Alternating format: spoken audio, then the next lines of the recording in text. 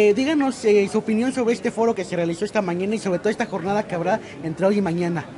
Pues bueno, es un foro eh, que propusimos para su realización aquí en la universidad con el ánimo justo de empapar a los estudiantes y a los visitantes a esta casa de estudios sobre el tema de los derechos de las audiencias y qué mejor que abordarlo en principio con un tema que ha sido paradigmático en cuanto a la relación medios de comunicación, periodistas y audiencias, como ha sido la eh, salida de Carmen Aristegui de Noticias MBS.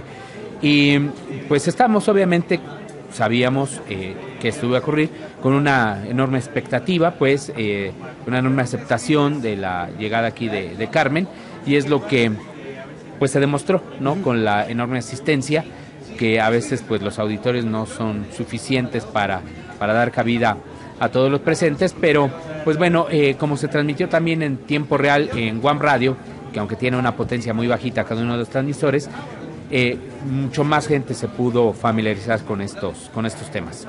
¿Calificaría como éxito esta, este foro que está realizando tanto el día de hoy como el que va a pasar mañana? Eh, bueno, dentro de lo que es la realización del foro, pues sí, lo vemos como un aspecto muy positivo, pero es tan solo un granito, como dicen, de arena para la construcción de esta cultura de los derechos de las audiencias que se debe fomentar paulatinamente en nuestra sociedad. Porque si no conocemos estos derechos, pues no podemos eh, eh, exigir su cumplimiento. Eh, ¿Por qué la sociedad mexicana tendría que venir, ya sea por las transmisiones en radio o venir aquí a la UAM Xochimilco, para conocer acerca de la figura de la defensoría de las audiencias, el periodismo y todo lo que nos ha mencionado en esta breve conversación? Porque desafortunadamente no es un tema que se esté abordando en los medios de comunicación como quisiéramos. Es decir, las propias empresas concesionarias o instituciones del Estado que operan medios de comunicación debiesen estar abordando frecuentemente los derechos de las audiencias, pero como es algo que a la larga les llega a ser, les llega a molestar, digo, salvo algunas excepciones, ¿no? Eh, porque siempre la crítica, la queja, las observaciones, las sugerencias no los toman eh, con una manera, de una manera abierta los concesionarios, así es de que estos espacios universitarios son el, eh, el espacio propicio para, para abordarlos. De ahí de que, de que más universidades ojalá se sumaran a este esfuerzo y más medios, como ahora lo está haciendo Guam Radio, se sumaran también a este tipo de, iniciativas de familiarizar a las audiencias con sus propios derechos. Maestro Gabriel Zaplata, en su calidad de ombudsman de Noticias MBS, eh, déjenme preguntarle, al raíz de la salida de Carmen Aristegui hasta la fecha, ¿cómo ha sido su trabajo en el medio? Si ha podido, hemos visto que ha infundido sus recomendaciones, aunque no se ven en la página de la empresa, pero ¿cómo ha sido ahorita su trabajo? ¿Ha sido ríspido? ¿Cómo lo ve? ¿Cómo puede Sí, por supuesto que no solo a partir de lo de Carmen, sino también de un caso que llevamos que fue el de invasión a vida privada del periodista Pedro Ferriz de Con, que se abordó ahí en Noticias MBS en los diferentes espacios. Comenzó una relación un poco, en efecto, complicada. Eh, es, es, sigo yo teniendo acceso, obviamente, a los recursos de lo que es Noticias MBS, puedo seguir accediendo al personal, pero la comunicación no es muy fluida, hay que, hay que decirlo. Y esto entorpece también el trabajo, finalmente, de la Defensoría de las Audiencias, eh, porque hay que dar respuestas expeditas a los radioescuchas que, que presentan alguna queja, eh, algún comentario. Eh, pero, pero tampoco lo fue antes, ¿eh? es decir, antes quizá había una comunicación mucho más fluida, pero de todas maneras siempre hay muchas resistencias a asumir las recomendaciones y aceptar las quejas de los radioescuchas. Y es no es solo un problema que tiene Noticias MBS, sino en general los medios de comunicación en nuestro país. La capacidad de autorregulatoria y de autocrítica está en su mínima expresión. Y hay que trabajar en ello, hay que seguir presionando también a partir de estas defensorías para que ellos también vayan asimilando de que ya estamos en una nueva sociedad, de que ya están en la ley una serie de derechos y de que ellos deben de asumir su responsabilidad social frente a sus audiencias, frente a sus públicos que finalmente a quienes se deben y en consecuencia darle el peso que se le debe dar al defensor de las audiencias. Eh, y sí, sí ha sido una comunicación sobre todo más difícil en los últimos meses y ha costado más trabajo procesar algunas de las quejas. Maestro, yo le agradezco por estas palabras que nos regala, quien también opinamos. Nada más me gustaría que nos dijera a los chavos que nos eh, ve, bueno, más que nada nos escuchan ahora, eh, pues qué mensaje decirles sobre que ellos tengan esa importancia de exigir sus derechos para que se hagan notar, se hagan valer. Bueno, no, pues yo celebro, por ejemplo, estas iniciativas que ustedes están llevando a cabo. Este es un periodismo ciudadano, un periodismo hecho por jóvenes, para jóvenes, y de que pues se familiaricen justo con estos derechos, porque ustedes son los impulsores del cambio, ¿no? Escuchábamos hace un momento a Carmen Aristegui, que, que uno de los logros del movimiento hashtag Yo Soy Centro 132, entre otras expresiones juveniles que hemos visto en los últimos años, se han reflejado en iniciativas de ley, se han reflejado en toma de decisiones de política pública y de que la mejor manera, decíamos, es un momento para ejercer los derechos, es conocerlos. Acérquense a la Ley Federal de Radio de Radiodifusión y Telecomunicaciones, nuestra nueva ley que tiene una vigencia ya desde hace un año. Hay un apartado relacionado con los contenidos. Ahí están enlistados una serie de, los, de derechos de audiencias, pero también otras cosas que Son hay que conocer. ¿eh? Son 10 derechos, ¿no? Que reconoce la Son, son nueve, en realidad, pero eh, en un ejercicio que hizo la maestra Beatriz Solís de aquí de la UAM, Xochimilco encontró que son más de treinta y tantos establecidos en la propia ley. Eh, y que todos ellos los podemos ir conociendo, asumiendo y defenderlos cuando veamos algo que consideramos que es contrario a la ley en los contenidos de la radio y de la televisión. Y presionemos, presionemos. Ya van a venir los lineamientos para la operación de las defensorías y a partir de ahí todas las estaciones de radio y televisión deberán tener defensores de audiencias. Cuando eso ocurra, entonces hay que ir a presionar para que esos defensores actúen. ¿A qué se comprometen los periodistas? ¿A qué se comprometen las empresas de comunicación? Pues pongámoslo por escrito. No puede venir una ley a decirnos cómo hacer el ejercicio periodístico. No se trataría ni de broma de plantear que se nos regulen los contenidos de esa manera, pero sí es exigible y deseable que los periodistas y las empresas de comunicación se comprometan ante la audiencia de lo que van a hacer en materia periodística, que sí y que no se vale en materia periodística. Y para eso sirven los elementos que el mundo democrático se ha dado precisamente para ejercer libertades con responsabilidad y con ética.